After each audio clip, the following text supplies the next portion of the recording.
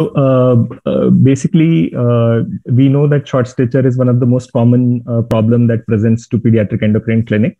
And the etiology of short stature can range from very benign conditions uh, like physiological conditions to extremely serious or critical conditions like a brain tumor.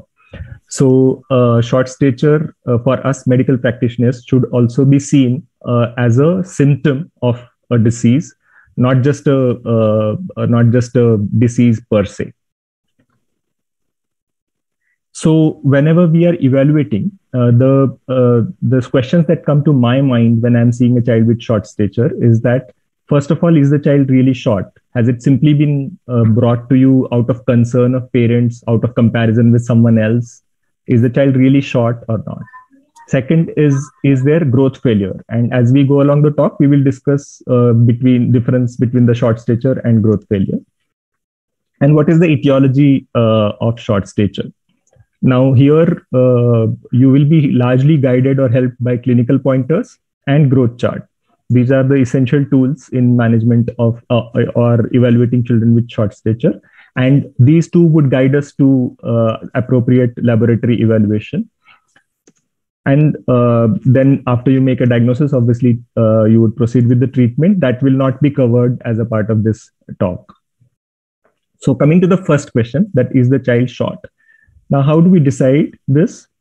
By firstly uh, accurately measuring height. Although it sounds very simple and stupid uh, to kind of say that the short stature uh, assessment uh, starts with a measurement of height, but even now we get referrals or calls where uh, the pediatricians say that such and such child is short. These are the investigations. These are the results. Tell us what do we do nowadays with the WhatsApp groups. You get all these kind of summaries. And when we ask them, have you plotted a growth chart? Have you taken the height, weight?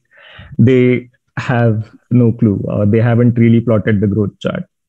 So, uh, and so many of the pediatric clinics that I see still do not have adequate facility of accurate measurement of height.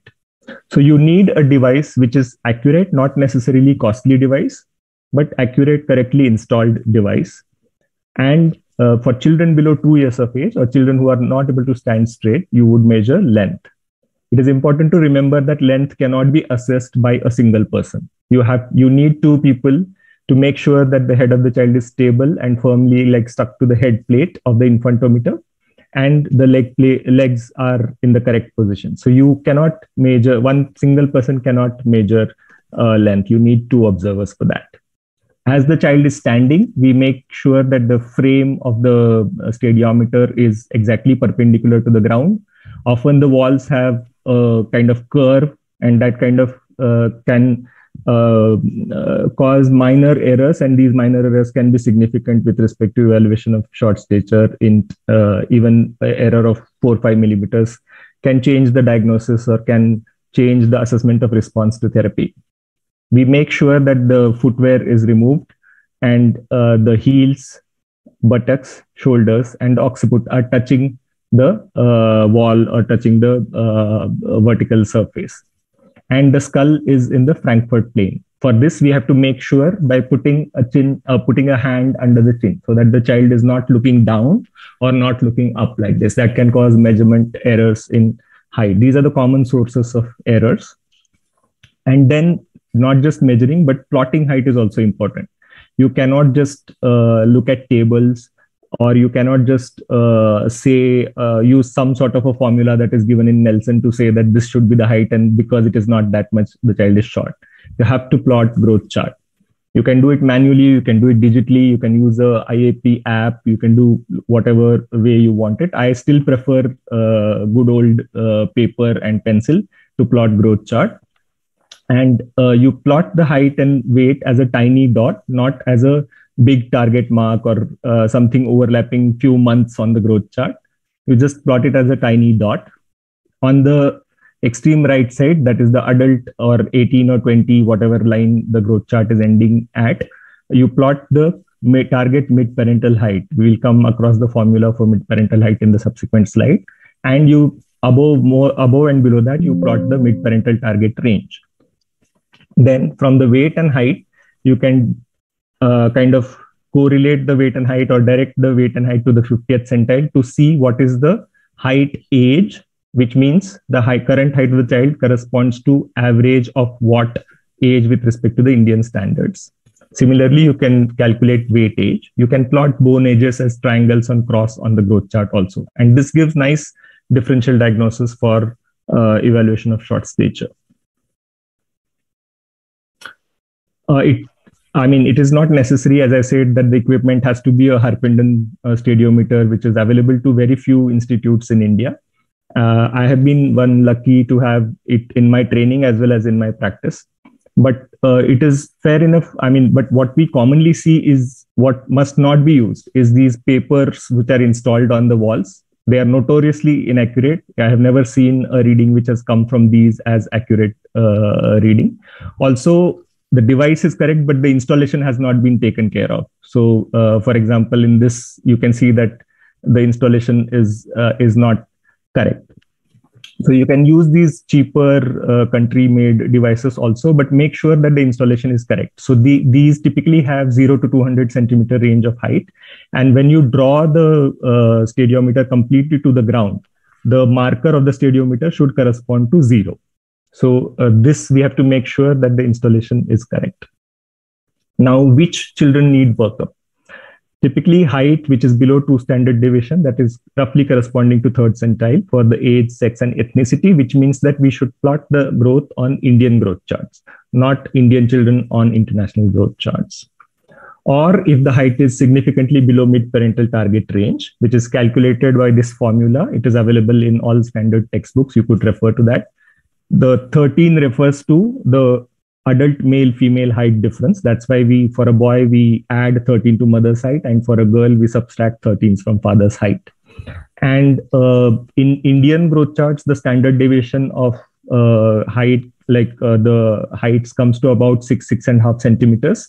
I prefer to use one standard deviation above and below the mid parental range because for somebody who is on the lower side the two standard deviation that is 12 centimeters may come too below the normal and may actually miss out on the pathological conditions. The purpose of evaluation is to pick up pathological conditions of uh, causing short stature.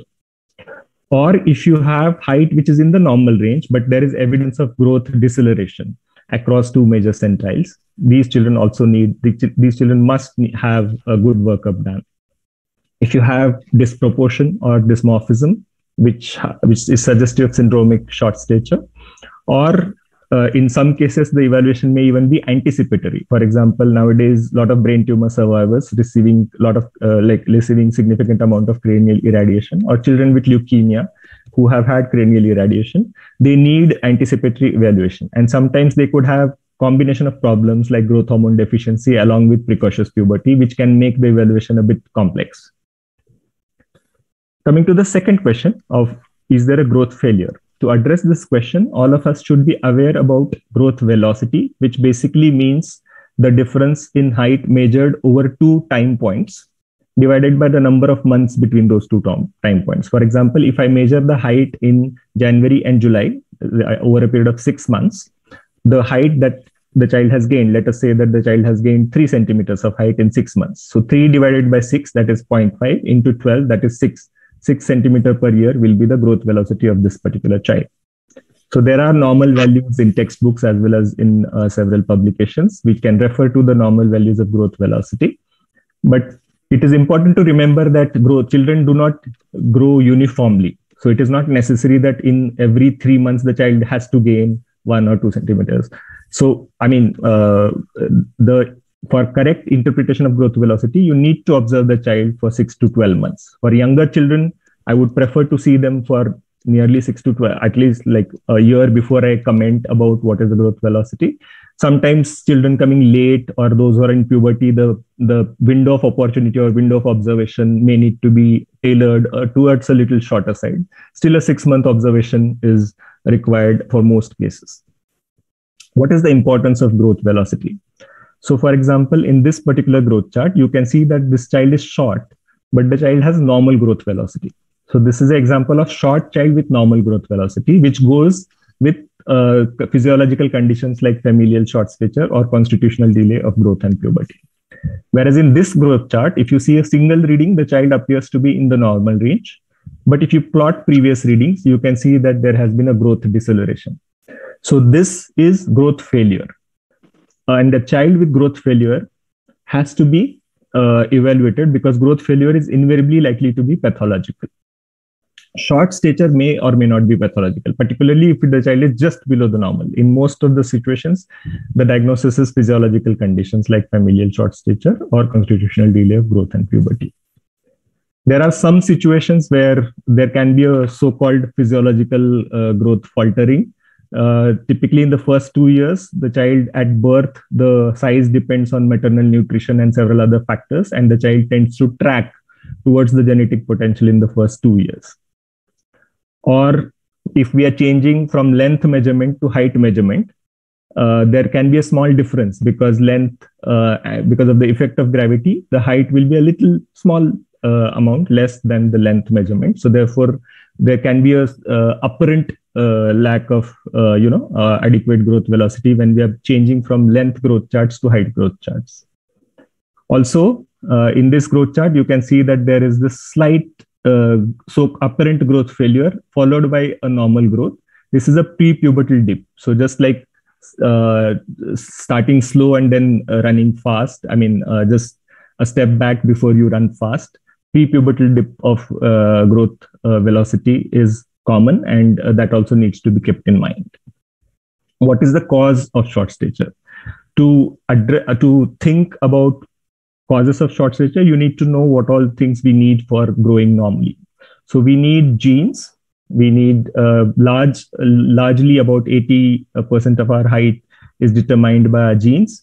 So uh, the parents height parents pubertal pattern etc is very important. And uh, some uh, several genes affecting the growth hormone axis where also and also the other uh, genes which are involved in cartilage uh, function or bone formation etc are also important in terms of uh, stature development you need healthy bones you need adequate food and the food needs to be absorbed properly and uh, this lack of adequate food actually even in utero can cause long term consequences like adulthood short stature for children who are born SGA.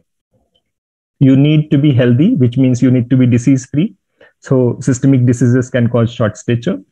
Uh, and you need to have uh, hormones. At several at various stages different different hormones are important. Thyroid hormone throughout your childhood growth hormone also but predominantly growth hormone affects the childhood uh, growth. And during puberty the sex steroid and augmentation of growth hormone secretion by the sex steroid is uh, results into the pubertal growth spurt and you need uh, loving and caring atmosphere. So if you have significant family discord or uh, uh, uh, several psychosocial problems in the family that could also lead to a short stature typically uh, many systemic diseases would have their own symptoms and signs, but there are certain conditions which can just present as short stature.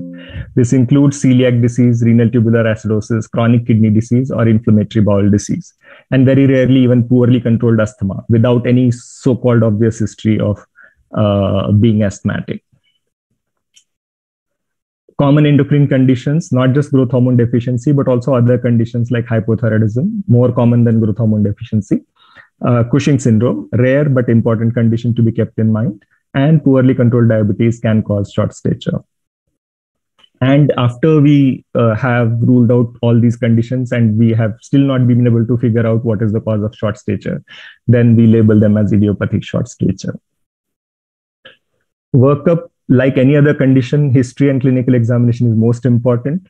Uh, many of you are all aware about the detailed history that we must take but there are some things which we often tend to forget which which are important with respect to history of short stature. Uh, we must ask about what was the birth rate. Many of the children are born sga and uh, a large uh, about 10 to 15 percent of them may not uh, may end up ad- as adult uh, short stature. They may not catch up also the pattern of pubertal growth in family that is very important and often missed uh, in uh, in history taking. You will obviously be inquiring for uh, several systemic diseases, nutrition, etc. In terms of examination, accurate anthropometry, plotting the growth chart, looking from head to toe uh, for signs or clues which are suggestive of causes of short stature. We'll go through some de- uh, details. All pediatricians should now be, uh, as they deal with adolescents now, uh, should have an orchidometer in their clinic and should be having a chart which is uh, teaching them about Tanner staging so that they can assess the Tanner staging of uh, adolescents. So, uh, as I said, that plotting the growth chart is extremely important. In this growth chart on your left side, you can see that this girl is significantly short and uh, her weight is not that much affected. So, her height age is actually just three, three and a half, and her weight age is about seven or so. In this sort of a situation, uh, endocrine cause or a syndromic cause is more uh, likely. So this particular girl had hypothyroidism, which has se- severe amount of uh, growth delay uh, and bone age uh, delay also. In whereas on the chart, in the chart on the right side, you can see that this child has come with short stature. But if we look at the uh, if we look at the sorry if we look at the weight readings, you can see that there has been significant faltering of weight gain from many, many years. This child was being managed as chronic malaria or Kala Azar because he belonged to that particular belt of India. However, after present initial presentation as short stature, nearly two, two and a half years later, he developed significant joint symptoms and he had actually juvenile idiopathic arthritis. Uh, so, where weight is affected before the height, the chance that it is malabsorption or a systemic condition or a psychological uh, cause like anorexia nervosa in girls, etc. That is more uh, likely if weight is more affected or more severely affected than the height. So in this particular case, it was juvenile idiopathic arthritis. So this slide also tells us the importance of measurement of weight and assessment of weight in the differential diagnosis of short stature. So it's not just the height. I mean, there can be several clues on, on clinical examination. Just to give example of a few examples, this is a girl which is after making after asking her to make a fist and seeing the knuckles, you can see this dimple at the fourth metacarpal, which is suggestive of a short fourth metacarpal, which is most commonly seen in Turner syndrome. This girl with short fourth and fifth metacarpal had pseudo hypoparathyroidism, another condition which can have brachymetacarpia this boy, uh, uh, this was my uh, patient in SGPGI actually. He's three year old, but looking like a small infant with frontal bossing, with bluish tinge of sclera, depressed nasal bridge, and midfacial hypoplasia, has growth hormone deficiency. Whereas this boy has puffy cheeks and uh, uh, weight gain with poor height gain, suggestive of Cushing syndrome. Looking, uh, it is important to strip the child completely. And some of the clues are apparent. Like, for example, in this case, the lordosis, that exaggerated lordosis that you see, is apparent only after you kind of strip and observe the child properly. So this child had spondyloepiphyseal dysplasia, whereas the child on this side uh, had severe rickets, type 1 vitamin D dependent rickets causing short stature. How do we decide on the tests required? If you have child which is totally normal, on growth and uh, on history and examination and height is normal for population, the child can be reassured and followed up after six months to document the growth velocity. If the child is short and the cause is obvious on history and examination, you do only that specific test to confirm the cause. Whereas for most of our children who come to us, short child with no obvious cause on history and examination, we do a set of tests called as screening investigations as I have said earlier, all children with growth failure or growth deceleration need to be investigated right at their first visit.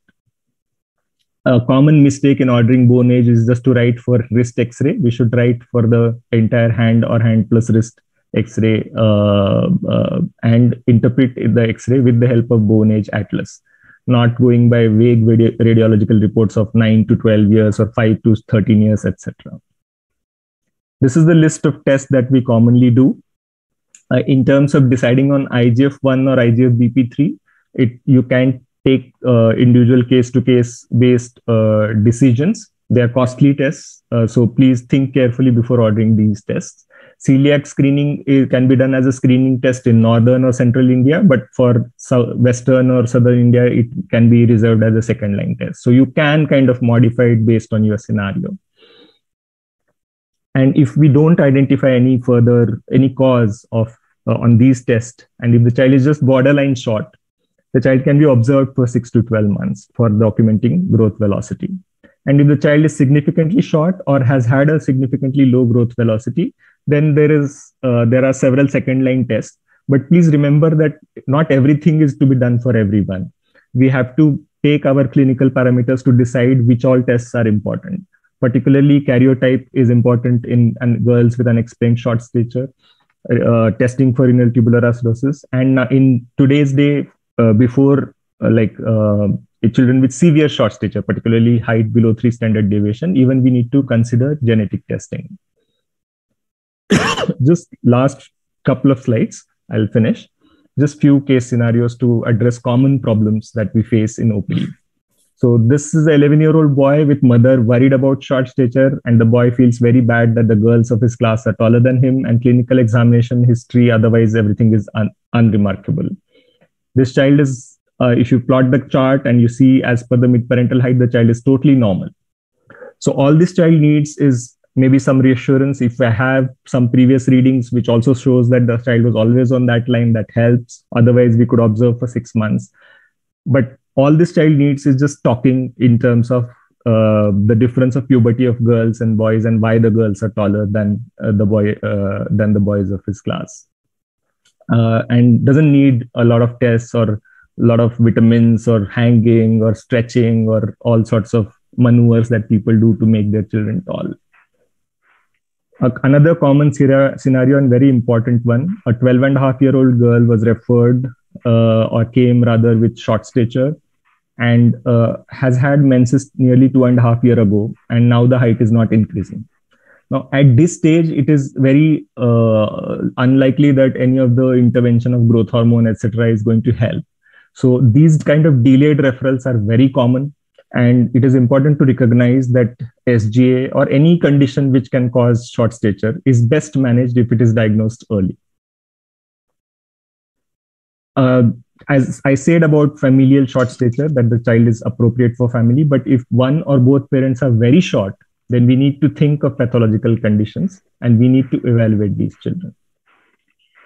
And this is a growth chart uh, where the child shows evidence of growth failure, a significant bone age delay, a low IGF-1, and this is the scenario where a growth hormone deficiency would be suspected and confirmed with the help of a growth hormone stimulation test. We do growth hormone stimulation test for most, most of these children, except for a few where there is uh, overwhelming evidence clinically as well as neuroimaging wise and a low IGF-1 in those, uh, as per the 2016 guidelines or consensus guidelines. Sometimes we may skip, but for most children, we do continue to do stimulation tests.